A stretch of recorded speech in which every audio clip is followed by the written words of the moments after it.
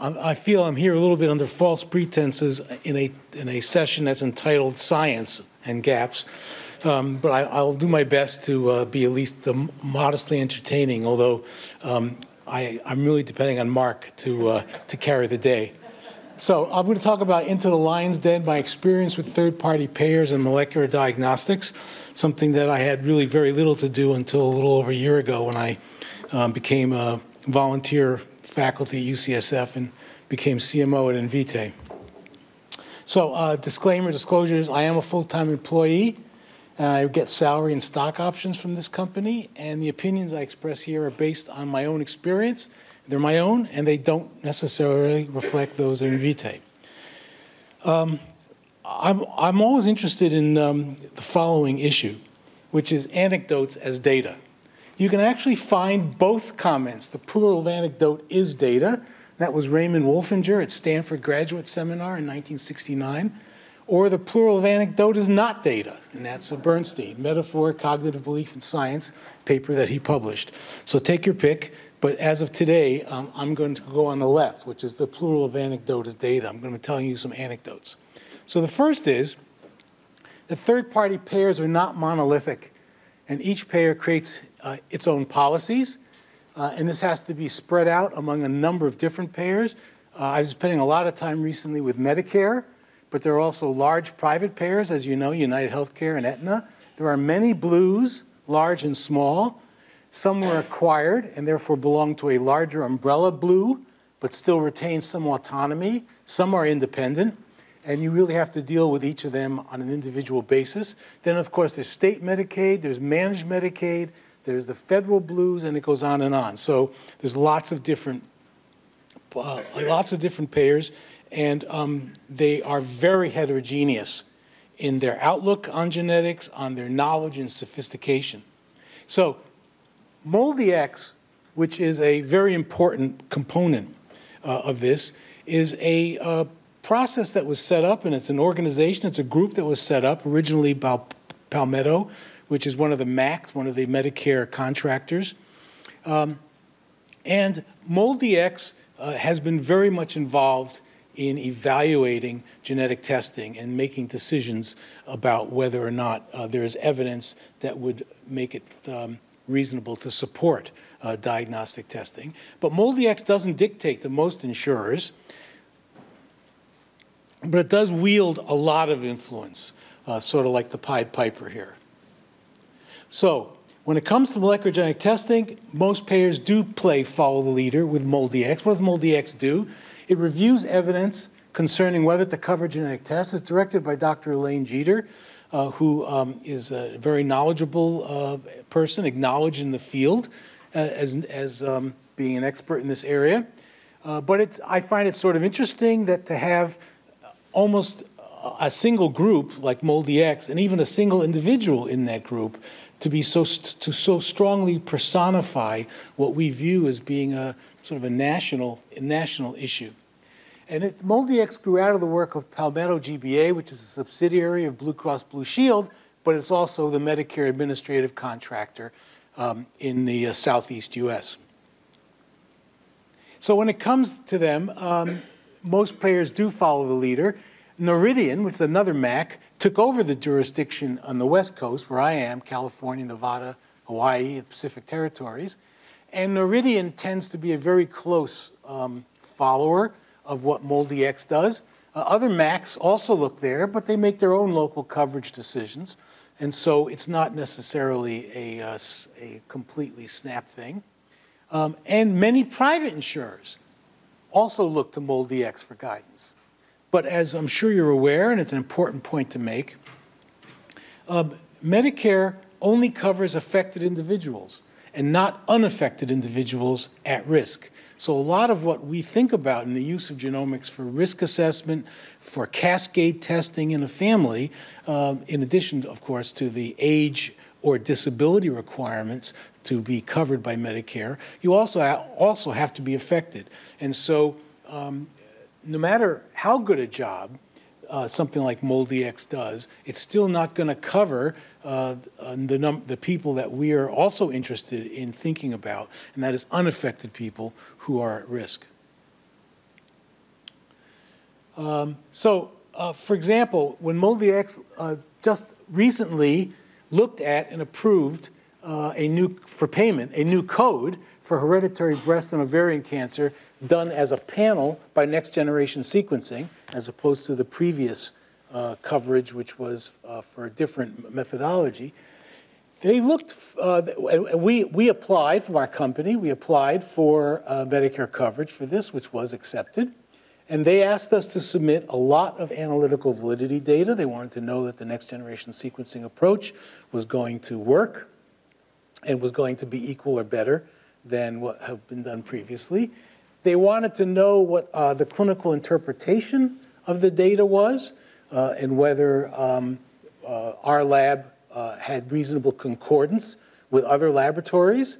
And of course, they wanted to know if we used ClinVar was an important component of what they looked at. And they also wanted clinical utility information, uh, most of which um, has been published by a combination of some academic laboratories, but some of it has also come from commercial laboratories, in particular one, Myriad, which uh, had had the patent and the uh, exclusive uh, testing rights for a number of years, and uh, generated a fair amount of data on um, that one could use for clinical utility arguments. And then when they put that all together and decided they were going to do it, they then had to put together some sort of a price. And the price that they put for next generation sequencing for hereditary breast and ovarian cancer panel, uh, which they said had to include at least BRCA1 and 2, but didn't specify how many other additional, although genes, although those genes had to be relevant to the problem. And they priced it at $622 while continuing to pay for the, on the old BRCA1 and 2 code well over $2,000. And um, this is, uh, I think, an interesting um, uh, situation where um, uh, you, it's very difficult to find out exactly what the basis was for them setting the, the what I think most people would recognize as a fairly low price for the next generation sequencing approach to this. Uh, and it's still a preliminary price. It's not been um, formalized. It's not finalized. And likelihood is, is that, that it's going to change. But um, uh, I just found this a very interesting experience to be working with this one designated component of one designated MAC, and yet it will turn out to be probably um, um, the most influential and important contributor to the use of, of um, next generation sequencing pay, uh, payments by Medicare and probably by a number of other payers as well if you do the testing by next generation sequencing. So the, the other thing I've learned in working with um, insurers is that there's a very complex dynamic among the concerned parties between patients and providers on the one hand, payers on the other hand, and then the laboratory, which is the rope there that's getting stretched in both directions. So the patients and providers, they are driven very heavily by personal utility concerns. Um, you know, as a practicing physician myself, uh, um, I don't always necessarily order a test just because um, I'm absolutely convinced that it has a total you know, perfect, beautiful clinical utility. Uh, also, sometimes I order a test because I'm trying to confirm a diagnosis or I'm just trying to understand and to be able to explain to a patient better why that patient may or may, or may not have a particular condition without there being a clear alteration in management that's going to happen as a result of that test. And, and patients certainly uh, often feel the same way. And they're looking to get their tests paid for by their, uh, their insurers, whereas the payers are driven by much, uh, I think, much stricter clinical utility concerns. As was said this morning, uh, uh they, they uh, often repeated that they did not take economic issues as being the overriding concern. They really are trying to provide good clinical care for the uh, people that they cover, but they do want good evidence, such as clinical utility. Also, many of the provide of the uh, payers expressed a strong interest in some kind of utilization management, similar to what has been done for drug tr treatment. They also would like for genetic testing, and um, often would engage with us about whether the laboratory could uh, partner with them in some way to provide some sort of utilization management to make sure, because they're quite concerned that many providers are ordering the wrong tests, they're ordering tests inappropriately, they're overusing tests, they're misinterpreting tests, and, and they would love it if um, somebody who had more knowledge and sophistication that they felt that they had would be able to partner with them to help them uh, in managing the utilization of genetic tests.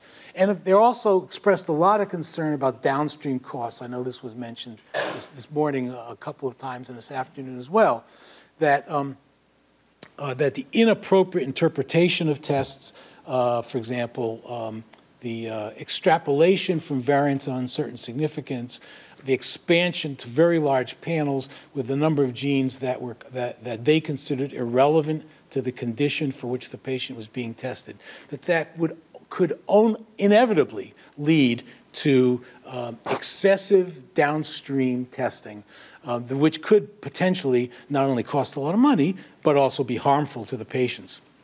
And the laboratory wants to keep its lights on, it certainly wants to get into contract with payers. This is very helpful. And the lab also has customers. Those customers are the providers and the patients, and they want to keep them happy.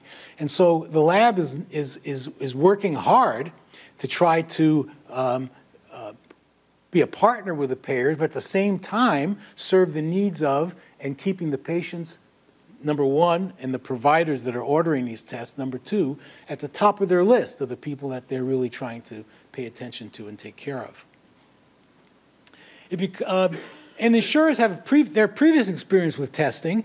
Uh, uh, colors, you know, the, the, the, there's that old expression about how the generals are always fighting the last war. And I've really felt that payers have been struggling with their previous experiences with genetic testing. Number one was they just staggered under code stacking, where there, uh, there are laboratories that would generate stacked codes for genetic testing that could go up into the tens of thousands of dollars for a test that really should only cost uh, under $1,000. Uh, and that this is something that they really feel that they got burned.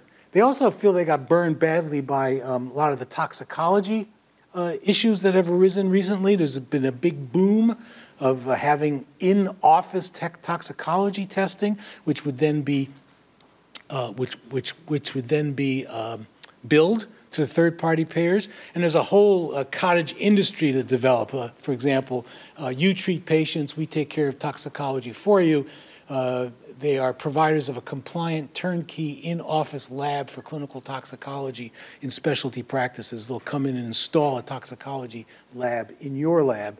Um, and I think that many of the insurance companies have really felt that um, this has been a real problem for them with just escalating costs for uh, drug testing. It becomes even more complex dynamic when you now add drug companies as the fourth component of this tug of war.